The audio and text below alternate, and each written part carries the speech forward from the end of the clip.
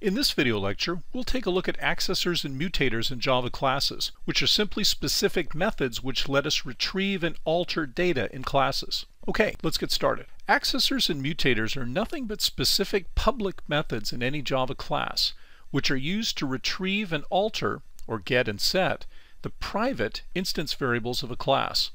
You'll sometimes hear them referred to as the getter or setter methods of a class. Remember that we said previously that in a well-designed Java class, all of the instance variables were declared as private, and the only access to them was via their public accessors and mutators. By doing this, our classes enforce encapsulation and well-defined access to their data, thereby maintaining the sanctity of that data. By convention, both accessors and mutators are public methods of a class, and in general, for every instance variable we add to a class, we always provide both these methods, one accessor and one mutator for each instance variable. The typical exception would be that if some data is derived from other base instance variables, we probably would only provide an accessor for it and no mutator. Accessors and mutators are very easy methods to write. Both are typically one-line methods having the following standard interfaces. For an accessor, its return type is that of its instance variable and its standard naming convention is get followed by the variable name, except now to maintain the camel case naming of the method, the instance variable name itself is now capitalized, or at least an initial cap. Then we follow that with an empty parenthesis pair, since accessors do not require any inputs, they only return a value. For a mutator, its return type is always void, since mutators return no values to their caller. Then the standard naming convention is set, followed by the variable name, and again now to maintain the camel case naming of the method, the instance variable name itself is again initially capitalized. Then, inside the parentheses, the one input parameter is this data type and variable name pair, which represents the value we want to set our instance variable to. Here's what a typical accessor mutator pair will look like. For our one private instance variable first name, so far, we'll always provide this accessor and mutator pair, and these two public methods are the only way we can get to this private instance variable. Our accessor, our get method, returns a copy of this instance variable as a string. Our mutator, our set method, updates this instance variable to whatever string value the caller gives us. That's it. Simple accessors and mutators such as these are literally one-liner methods. Right now we've only implemented one instance variable, first name, but once we have this pattern in place for one, I think you can see how easy it's going to be to flesh this out for all the other instance variables needed. Just as a reminder, the instance variable itself is always private, but the two methods which give us access to it are both public. We want to keep the data itself tightly guarded, but still give the outside world well-defined access to it, which is a key aspect of good object-oriented design. Note the difference in the interfaces between the two.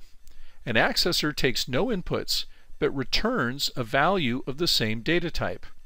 A mutator is the opposite. It takes one input of the same data type as the instance variable, but returns nothing to its caller, so it's a void. Also, notice how we're using the this keyword to refer to the instance variable on the left-hand side, so that we can use the same name for our input argument on the right-hand side. Seriously, simple accessors and mutators are just about the easiest methods you'll ever write in Java.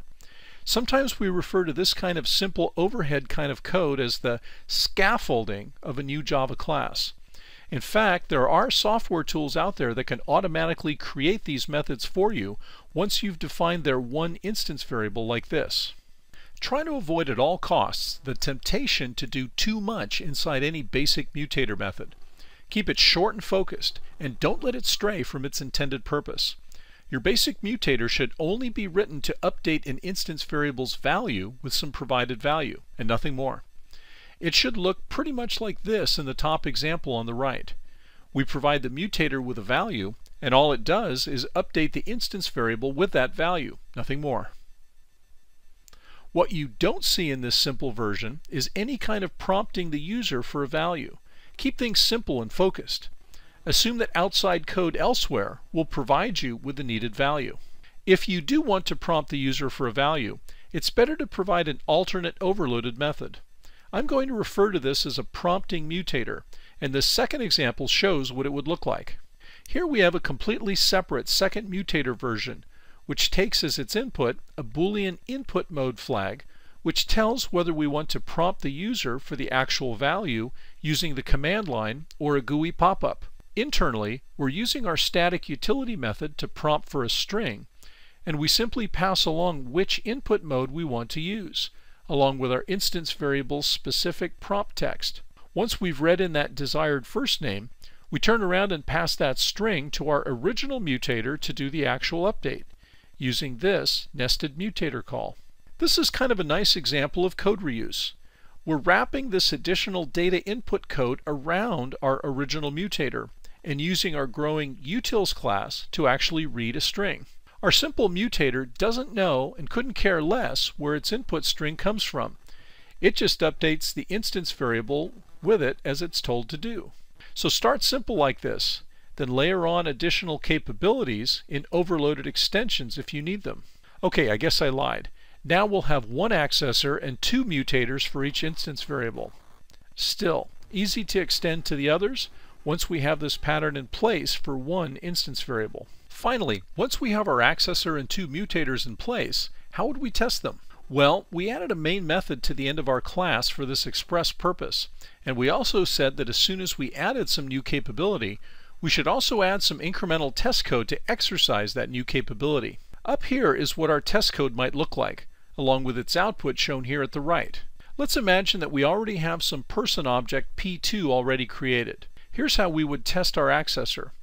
Since the accessor method returns a string, but it can't be used except in the context of some existing object, this entire expression resolves to one string, then this entire print statement is nothing but printing a label in a string variable, with the output shown here.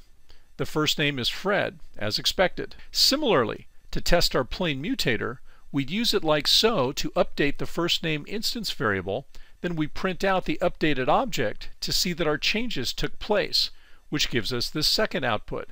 And we see that the first name was indeed updated as commanded. Finally, to test our prompting mutator, we simply apply it as before to our existing object, except that now we're just specifying the data input mode we want to use, or in this case, scanner command line input. Then as before, we print the updated object to make sure our changes were taken.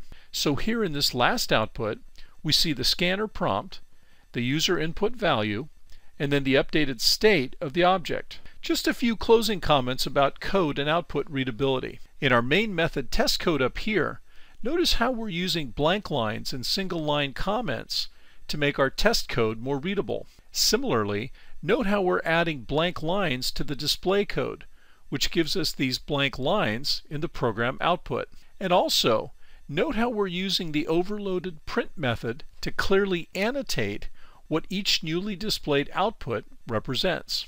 Use these kinds of techniques in your test code to make both the code and its output easier to follow. To finish up, please take a moment now to view the demo video for Person Phase 6.java, where we'll demonstrate creating and testing these accessors and mutators in our person class and we'll snapshot these changes into the indicated file name.